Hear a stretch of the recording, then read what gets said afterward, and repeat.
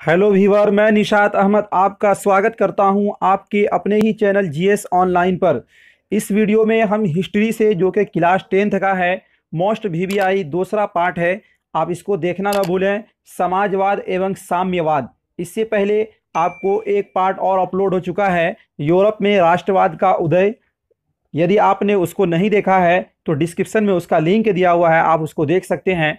इस वीडियो में दूसरा चैप्टर, जो कि क्लास टेंथ का है समाजवाद एवं साम्यवाद, उससे जितने भी most V V I objective question बन सकते हैं, और जो प्रीवियस यानी पिछले साल में पूछा गया क्वेश्चन है, उस सबको इस वीडियो में जब एक जगह जमा किया गया है, इसलिए इस वीडियो को आपके लिए लास्ट तक देखना बहुत ही लाभदायक और बहुत ही फ़ायदेमंद रहेगा। चलिए तो शुरू करते हैं। वीडियो को लाइक और शेयर ज़रूर कर दीजिएगा। क्वेश्चन नंबर एक है, पहला प्रश्न है, रूस में कृषक दास प्रथा का अंत कब हुआ?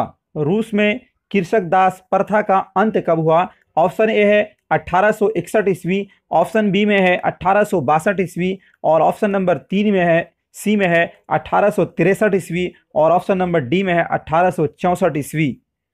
तो इसका सही जो है आंसर अट्ठारह ईस्वी, जो कि ऑप्शन नंबर ए है, ए राइट हो जाएगा।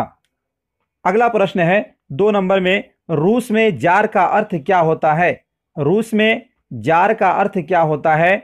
ऑप्शन ए है पानी का बर्तन, ऑप्शन बी है पानी रखने का मिट्टी, ऑप्शन नंबर सी है रूस का सामंत और ऑप्शन नंबर डी है रूस का सम्राट। तो दो का सही ऑप्शन जो है रूस का सम्राट यानी रूस का राजा को वहाँ कहते हैं जार। वहाँ का जार जार का अर्थ होता है रूस का सम्राट, इसलिए इसका ऑप्शन नंबर बी राइट हो जाएगा। अगला प्रश्न है तीन नंबर में, कार्ल मार्क्स का जन्म कहाँ हुआ था? ऑप्शन ए है इंग्लैंड, ऑप्शन नंबर बी है जर्मनी, और ऑप्शन नंबर सी है इटली, और ऑप्शन नंबर डी है रूस। कार्ल मार्क्स का जन्म कहाँ हुआ था? तो तीन नंबर का सही ऑप्शन जो है, वो ऑप्शन नंबर बी राइट हो जाएगा, जो कि जर्मनी। जर्मनी में कार्ल मार्क्स का जन्म हुआ था। अगला प्रश्न है चार नंबर में, साम्यवाद शासन का साम्यवादी शासन का पहला प्रयोग कहाँ हुआ था? ये 2017 में पूछा हुआ क्वेश्चन है और 2011 में भी ये क्वेश्चन पूछा गया है।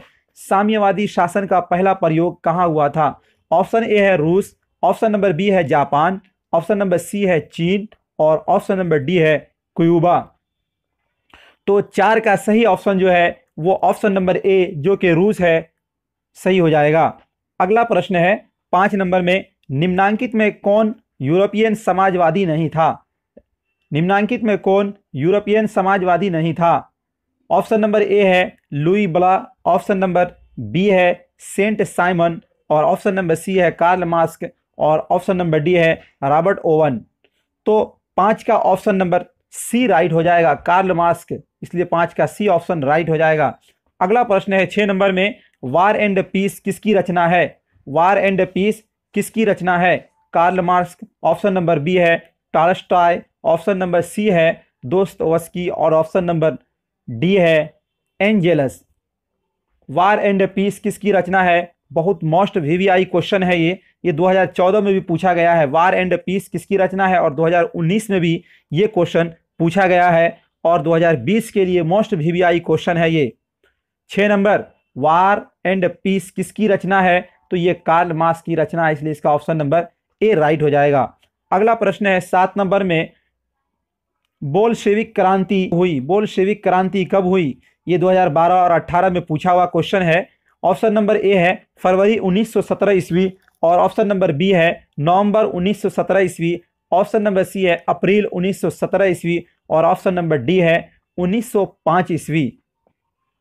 तो नवंबर 1917 ईस्वी में बोल्शेविक क्रांति हुई थी, इसलिए इसका ऑप्शन नंबर बी राइट हो जाएगा। अगला प्रश्न है, आठ नंबर में लाल सेना का गठन किसने किया था? लाल सेना का गठन किसने किया था? ऑप्शन ए है Karl Marx, option number B है स्टालिन और ऑप्शन नंबर सी है ट्राट्सकी और ऑप्शन नंबर डी है क्रेंसकी तो आठ नंबर का सही ऑप्शन जो है, ऑप्शन नंबर सी राइट हो जाएगा, ट्राट्सकी। अगला प्रश्न है, नौ नंबर में लेनिन की मृत्यु कब हुई? लेनिन की मृत्यु कब हुई? ऑप्शन ए है 1921 ईस्वी, ऑप्शन नंबर बी है 1922 ईस्वी और ऑप्शन नंबर सी है 1923 ईस्वी और ऑप्शन नंबर डी है 1924 ईस्वी। लेनिन की मृत्यु कब हुई? तो 1924 ईस्वी में लेनिन की मृत्यु हुई थी, इसलिए इसका ऑप्शन नंबर डी राइट हो जाएगा। आपके लिए एक नोट्स है कि एनसीईआरटी क्लास टेंथ का चैप्टर बाय चैप्टर आप हमारे वीडियो के चैनल के प्ले लिस्ट पर जाकर वीडियो देख सकते हैं। और आप अच्छा से अच्छा नोट्स और अच्छा से अच्छा कंटेंट आपको दिया जा रहा है, आप वहाँ से नोट्स बनाकर अच्छे से अच्छे तैयारी कर सकते हैं। दस नंबर प्रश्न है, ब्रेस्ट लिटवस, लिटोवस्क की संधि किन देशों के बीच हुई? ब्रेस्ट लिटोवस्क की संधि किन देशों के बीच हुई? ऑप्शन ए है रूस और इटली, ऑप्शन नंबर बी है रूस और फ्रांस, और ऑप्शन नंबर सी है रूस और इंग्लैंड, ऑप्शन नंबर डी है रूस और जर्मनी। तो रूस और जर्मनी के बीच ये संधि हुई थी, इसलिए इसका ऑप्शन नंबर डी राइट हो जाएगा। अगला प्रश्न ग्यारह नंबर में, रूस का पहला समाजवादी कौन था? रूस का पहला समाजवादी कौन था?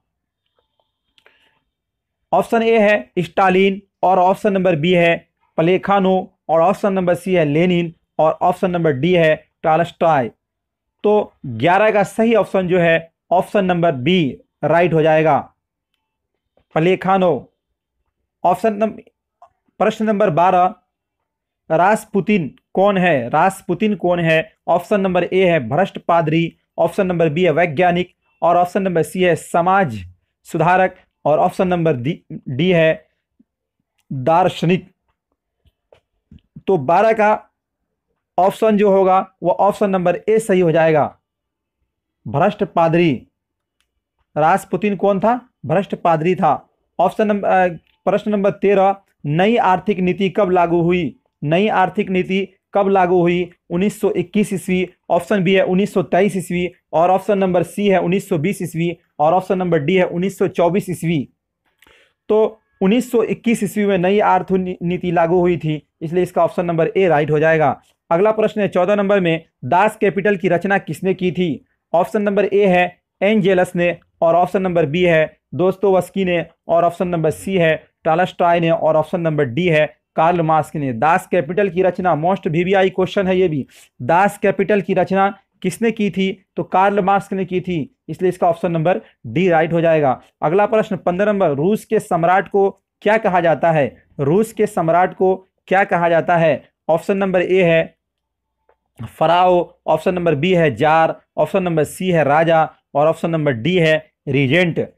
पंद्रह नंबर तो अभी पूछा गया है कि जार का अर्थ रूस में क्या होता है तो वहाँ का सम्राट इसी प्रश्न को फिर घुमा के पूछा गया कि रूस के सम्राट को क्या कहा जाता है तो इसलिए इसका tsar option number B right हो जाएगा। अगला प्रश्न है, सोलह नंबर में मजदूर दिवस कब मनाया जाता है? ऑप्शन ए है एक अप्रैल, ऑप्शन नंबर बी है एक मई और ऑप्शन नंबर सी है पंद्रह अप्रैल और ऑप्शन नंबर डी है आठ मार्च। तो मजदूर दिवस, सोलह नंबर मजदूर दिवस जो है वो मनाया जाता है एक मई को, इसलिए इसका ऑप्शन नंबर ए, बी जो है राइट हो जाएगा। अगला प्रश्न है, सत्रह नंबर में अंतर्राष्ट्रीय महिला दिवस कब मनाया जाता है? अंतर्राष्ट्रीय महिला दिवस ऑप्शन ए है आठ जून ऑप्शन नंबर बी है एक दिसंबर, और ऑप्शन नंबर सी है पंद्रह अप्रैल ऑप्शन नंबर डी है आठ मार्च। अंतर्राष्ट्रीय महिला दिवस कब मनाया जाता है? तो आठ मार्च को अंतर्राष्ट्रीय महिला दिवस मनाया जाता है, इसलिए इसका ऑप्शन नंबर डी राइट हो जाएगा। अगला प्रश्न है अट्ठारह नंबर में समाजवादियों की बाइबिल किसे कहा जाता है? समाजवादियों की बाइबिल किसे कहा जाता है? ऑप्शन ए है Das Kapital, option number B है War and Peace, option number C है स्पार्क और ऑप्शन नंबर डी है कम्युनिस्ट घोषणा पत्र को। समाजवादियों की बाइबल किसे कहा जाता है? अट्ठारह नंबर। तो दास कैपिटल को कहा जाता है, इसलिए इसका ऑप्शन नंबर ए राइट हो जाएगा, ऑप्शन नंबर ए राइट हो जाएगा।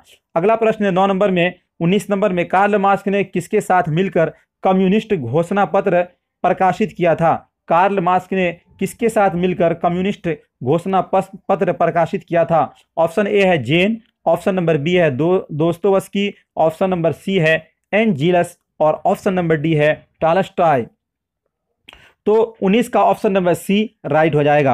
अगला प्रश्न है 20 नंबर में, जार निकोलस द्वितीय की पत्नी जरीना किस देश की राजकुमारी थी? जार निकोलस द्वितीय की पत्नी जरीना किस देश की राजकुमारी थी? ऑप्शन ए है इटली, ऑप्शन नंबर बी है फ्रांस, ऑप्शन नंबर सी है जर्मनी, ऑप्शन नंबर डी है ऑस्ट्रेलिया। तो इसका सही